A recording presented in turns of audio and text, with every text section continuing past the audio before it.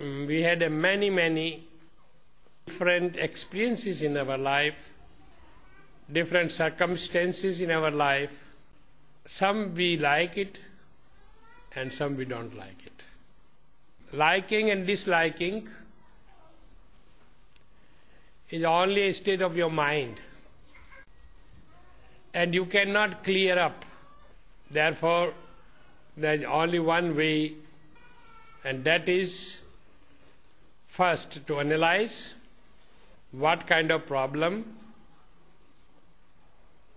or what kind of happiness. Then the cause of the problem connected with what?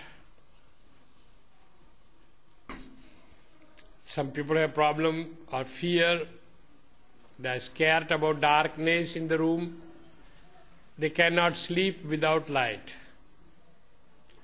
Find out the cause of this. Or some people have fear from the do- dogs or the cat. Many people have from small creatures, the spiders, the ants, from the people, and so on, many, many. Till you don't find the cause, the roots, you cannot treat that problem. And so, you have time in your anushtana and you have free choice on which subject you would like to work. You have a time, take your time and find out is connected with which problem, person, matter, or anything. Suppose now you know when problem began, how problem began, with what or with whom it began. That's very good that you know now. Now, put yourself or make clear to you, it's called Desh and Kala. Desh means the place where you are. Kal means the time. It means in particular time where you are, what situation is there. Can you change that situation? Or you cannot change the situation. If it is in your power that you can change, do it. Otherwise, you may get more problems. You are in trouble because you do not understand and respect the law of the Desh and Kal, place and circumstances. Like what we call every country has its law. Every country have their constitution. And you have to respect the constitution of your country, the law of your country. You would like to be a, some exception is not possible because that law is not only applied for the citizen of that country but people who enter that country who lives in that country they should respect. Or for example you go to someone's house. Then every house have the rules. Every house is different. You are only a guest. And therefore you should know how far you can go how far you can do and how far you should not do what you can ask for and what you should not ask. So, when certain problem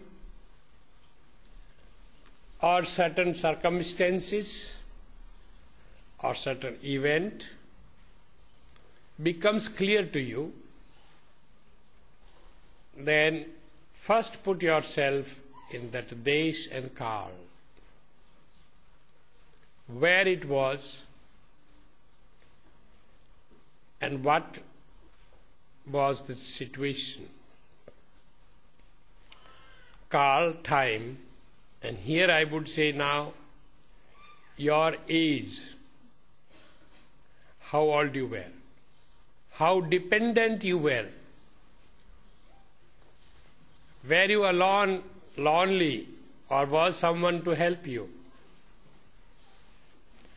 Make clear vision. Yes, it was. Now you are going in past.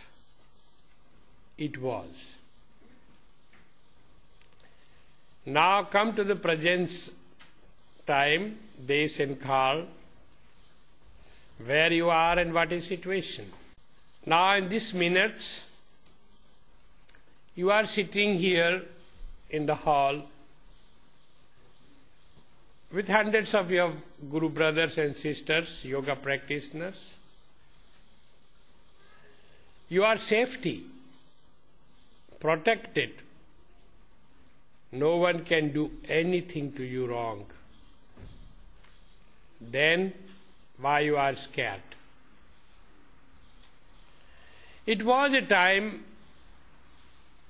you were alone or you were not strong enough.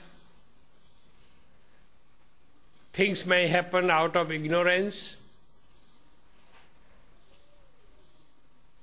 Your parents went somewhere and they closed the door and they thought they will come in one hour back. You are sleeping deep. They put off light and then you woke up somehow.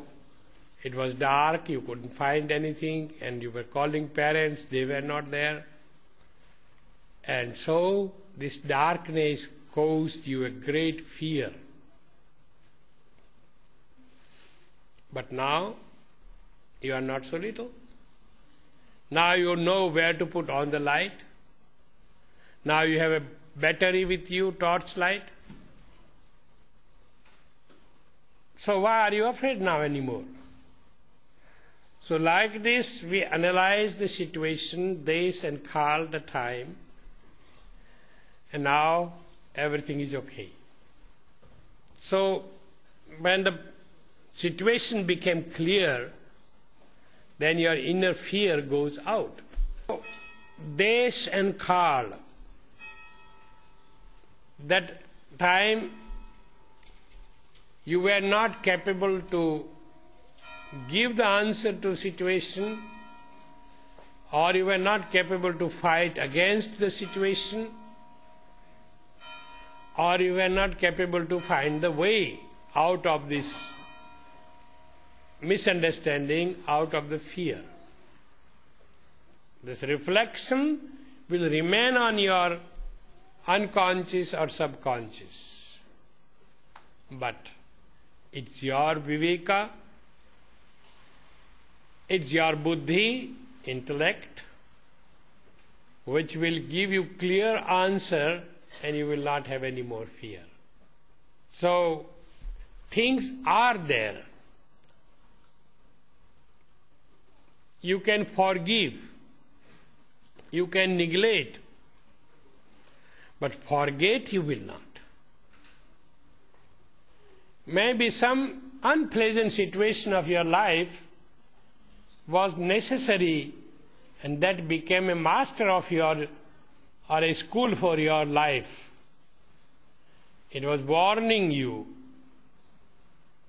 And so you learned out of that.